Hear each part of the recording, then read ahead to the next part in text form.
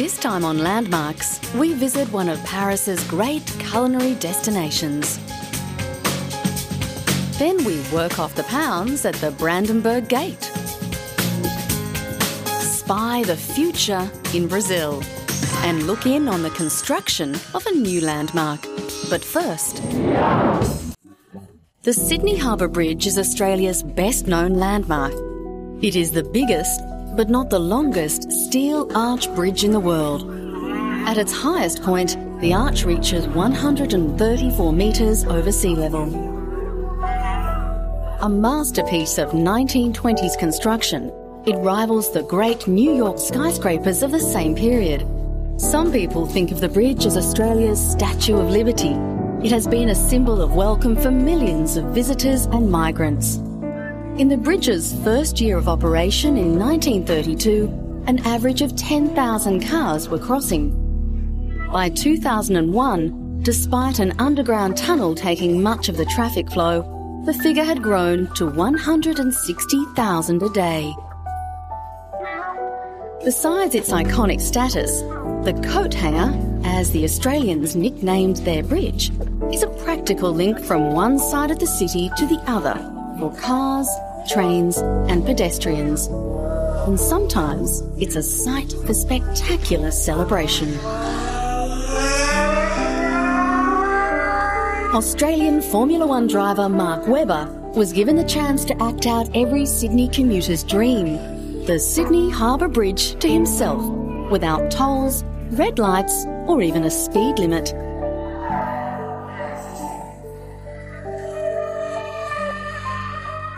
Webber was given the equivalent of the keys to the city for this stunt, with all traffic on the bridge blocked off for a couple of hours. Usually, traffic runs over the nearly 50 metre wide deck in eight lanes alongside two railway lines, a walkway, and a bicycle path.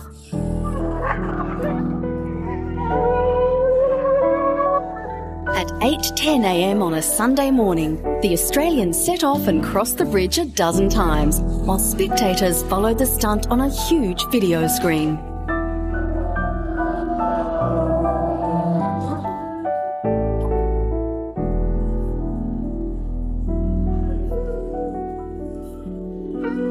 Well, it's pretty amazing, obviously. Uh, this is the most famous the landmark in Australia. Uh, the Sydney Harbour Bridge is uh, very, very famous, and uh, for them to shut the bridge to run a Formula One car over it is uh, something that's very special.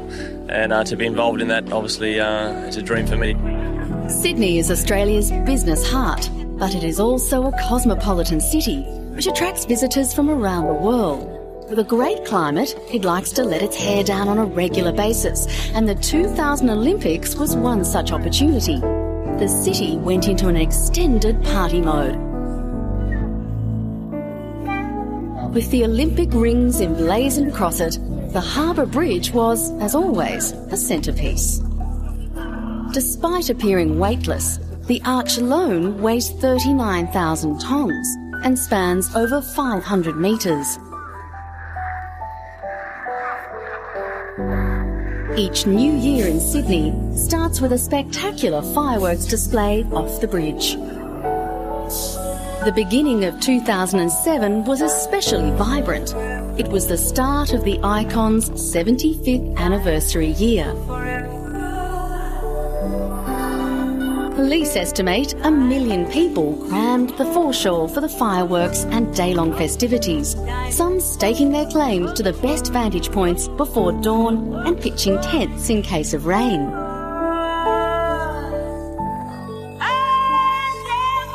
With its fellow icon, the Sydney Opera House nearby, you can see why it was worth the effort for those with a good viewing spot.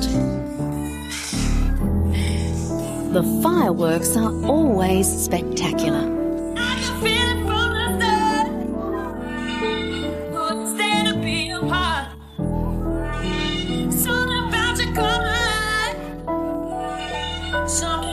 75 years old, the bridge remains in remarkably good condition, in part due to its rigorous maintenance regime. Its steel structure needs continuous protection from the salty air and is continuously being painted. Each pass requires the equivalent of 60 sports fields of paint. At that rate, the Sydney Harbour Bridge will maintain its good looks for many years to come.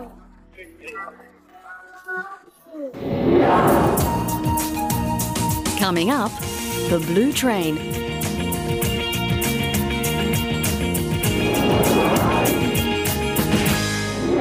The Paris Universal Exposition of 1889 had at its centrepiece Gustave Eiffel's thousand foot tower, then the tallest structure ever made by man.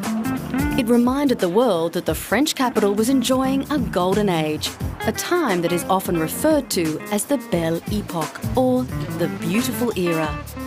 Gare de Lyon railway station housed one of the many elegant restaurants patronised by Parisian society. The Train Bleu, or the Blue Train, overlooks the departure platform for trains travelling to the south of France. But why the Blue Train? Le train bleu, ben, tout simplement parce que The Blue Train, simply because it was the train going to the Riviera. euh, It was the colour people saw when they woke up in the train in the morning and opened the windows. Everything was blue and it was fantastic. Je pense que c'était fantastique. After a long and detailed renovation, the Blue Train restaurant has been restored to its original grandeur. And how better to celebrate its centenary than with a special dinner for which the guests dressed in period costume to relive a golden age of affluence and artistic creativity. But while the spectacular interior of the restaurant can evoke memories of yesteryear, it's quite a different story behind the scenes. Feverish activity in the kitchen pays homage to the very best of modern French cuisine. Chef Andre Signoret feels it is a privilege to be working in such a significant environment. But at the same time, he welcomes the challenge of introducing 21st century gastronomy to the historic restaurant. The Blue Train has been in existence for one century. It has changed since then, of course. We prepare a more modern cuisine. It is a restaurant which is wonderful thanks to its decor, its regular clients. It is very lively, and we serve about 500 people per day. The restaurant was officially declared of historical interest in 1972 and restoration began soon after. Some 30 painters carried out the decoration of the restaurant, with the wall murals depicting scenes from the south of France, the region serviced by the original Blue Train. For the ceilings, the architect called in artists who had already decorated part of the Sorbonne ceilings, the Paris Town Hall, and the Comic Opera. For those who could recall the glory days of the Blue Train, this was a special night. This evening is very important for me. I got to know the Blue Train in the 50s when it was not what it is today. ce qu'il est aujourd'hui. The rooms were abandoned. It has been redone beautifully, cleaned up, and I have watched it become a restaurant again. Nettoyé, je l'ai vu devenir un restaurant. C'est c'est toute une époque, 1900. It brings to life the period around 1900, and I have a lot of affection and tenderness for that time. Le, le style. euh, I love the style of those euh, years, the clothes for euh, men and women. Euh, it was que superb. pour les hommes comme pour les femmes. Magnificent. C'était- C'était magnifique. Turn of the century Paris was a city of writers, artists, and musicians, the cosmopolitan capital of pleasure and culture. And more than a century later, this evening reproduced that lifestyle in every detail.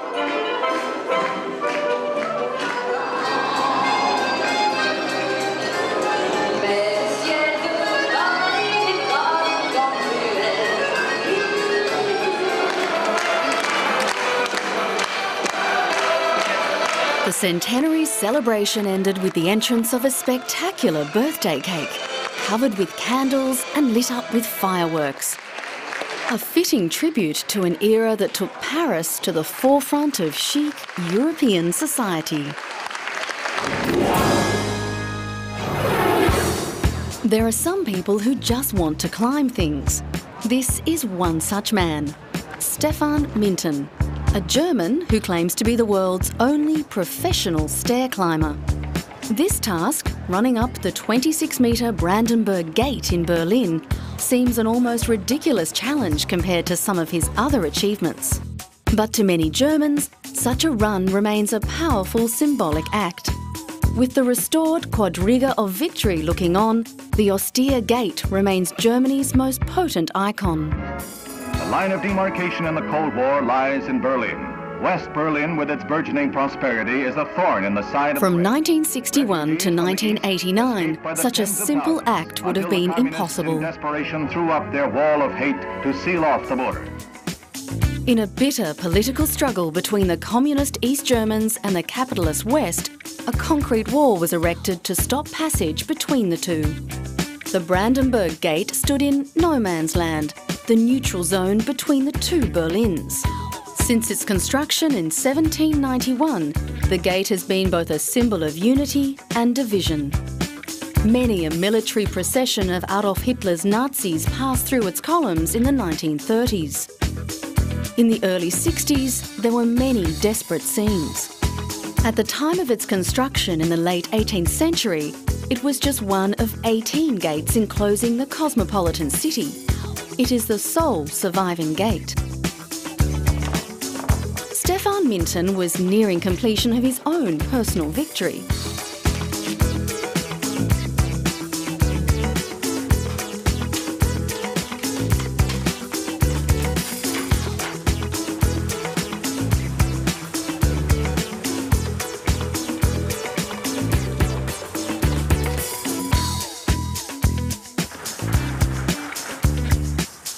With the four horses of the Quadriga of Victory statue now alongside, Stefan could reflect on his efforts.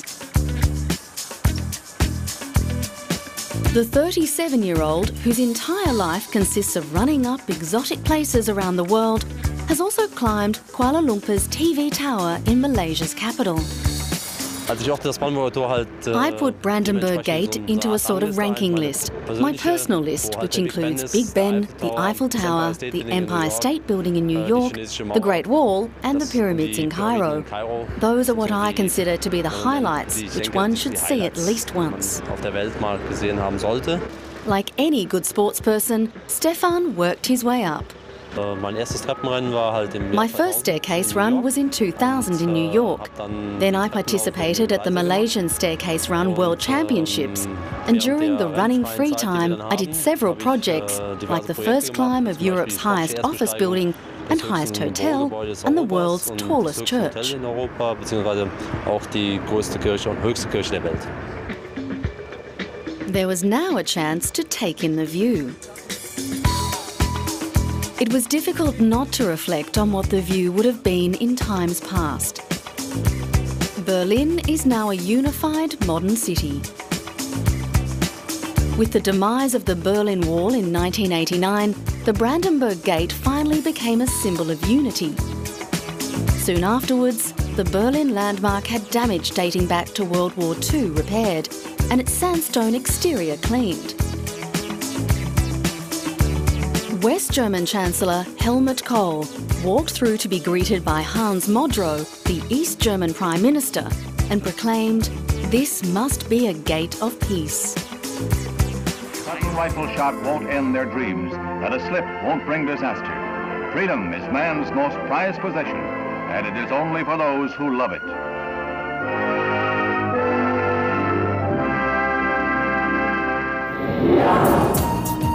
Coming up, going around in Brazil.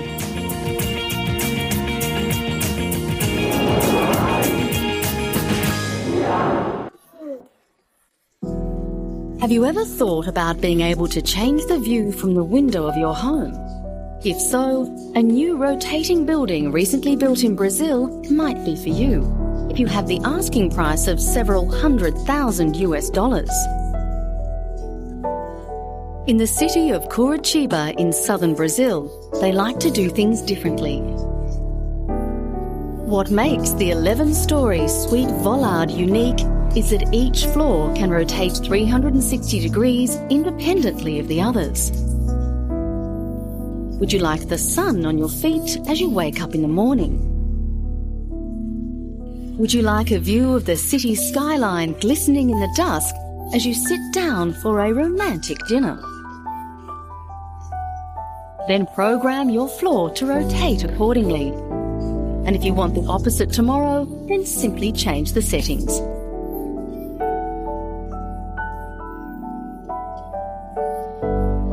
But who wants to buy a rotating apartment?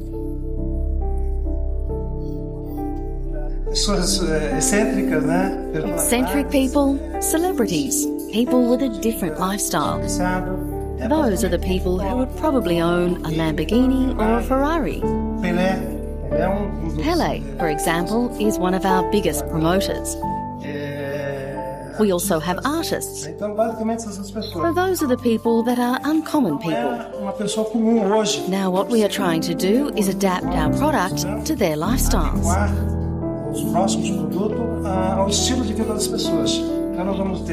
Adequar os próximos produtos ao estilo de vida das pessoas. Então nós vamos ter The core of the building does not rotate. This is where the kitchen and bathroom are located. But every other space in the apartment spins around. The building's architect, Bruno De Franco, says he designed Suite Vollard as homage to the artist Pablo Picasso. The inspiration for the rotation of this building came from the great work of Picasso. We wanted to pay homage to him with a work that was up to his standards. Years ago, it would have been impossible to build something like this. DeFranco adds that the design was not complicated. The idea is to be able to change the view from your apartment to suit your whim, not to be on a fairground ride. The technology that we use here is in fact very simple. In this building, for instance, we have this rotating capsule which is on top of a dented round platform. And we have a big chain and a motor and engine. This is more or less the principle of this building.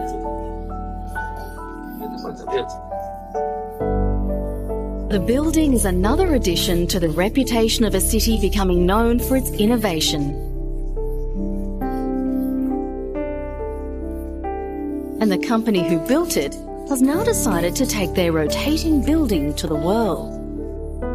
We're aiming at the, um, the high-end markets in America and in Europe, in Asia, and that means being um, where luxury condos can be sold. Because we want to bring all technology available in the world to, to these investors and to these uh, families that would like to have, to have everything at their disposal.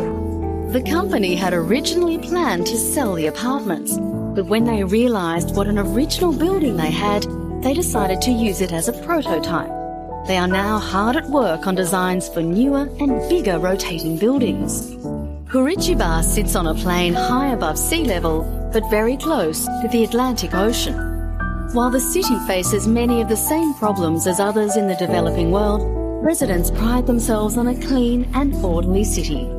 They were one of the first in Latin America to introduce a citywide recycling program, and they are now home to a whole new concept in architecture.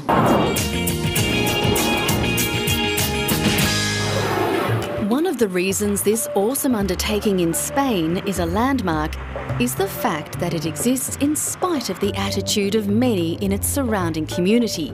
They treat it as meaningless. Not that that worries the man behind the project.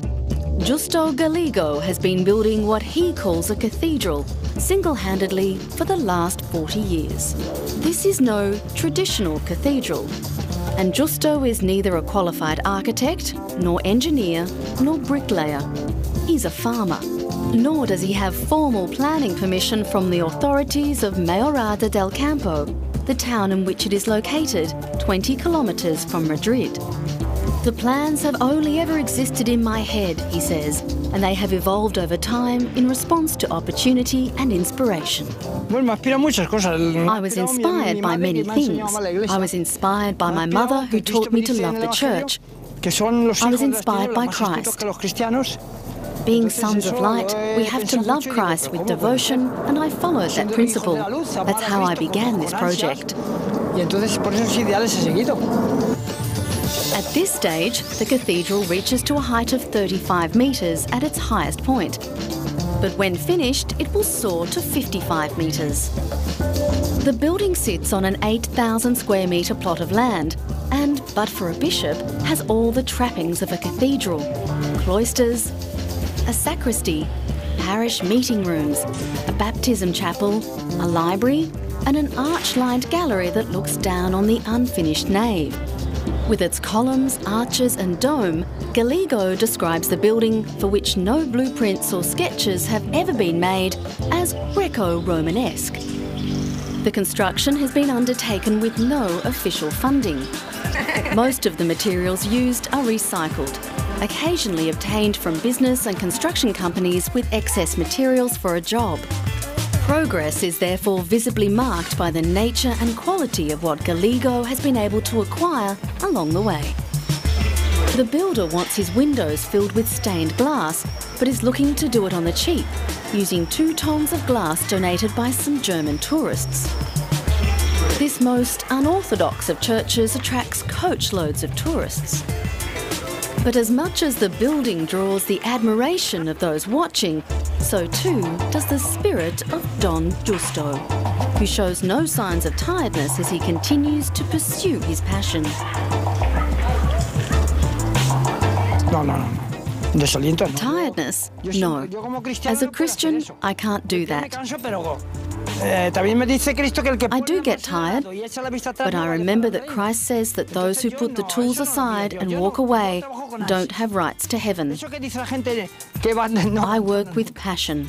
al contrario, trabajo mucho más. Don Justo Gallego may be a man before his time. Huddled in two old coats by a bonfire in the nave, his face grubby and his cheeks hollow, the 80 year old former monk is sometimes compared to Catalan architect Antoni Gaudi, creator of Barcelona's unfinished Sagrada Familia Church, in part because in Gaudi's final days he was mistaken for a tramp. The comparison is helped by the church's address, number 10 Antoni Gaudi Street. Gallego is realistic about the future. Bueno, yo estoy contento ya, ¿eh? I am already very happy. cumple más, más, If I can do more, que he hecho ya I'll be happier. But with what I have already done, it's enough. Pero eso va a ser mucho, hombre. Son 8.000 metros. We are going to try to finish it, but that is going to be too much for me. It will cost a lot of money that I don't have. Questions have been raised concerning its foundations and bracings, and nobody wants to be responsible for its structural integrity.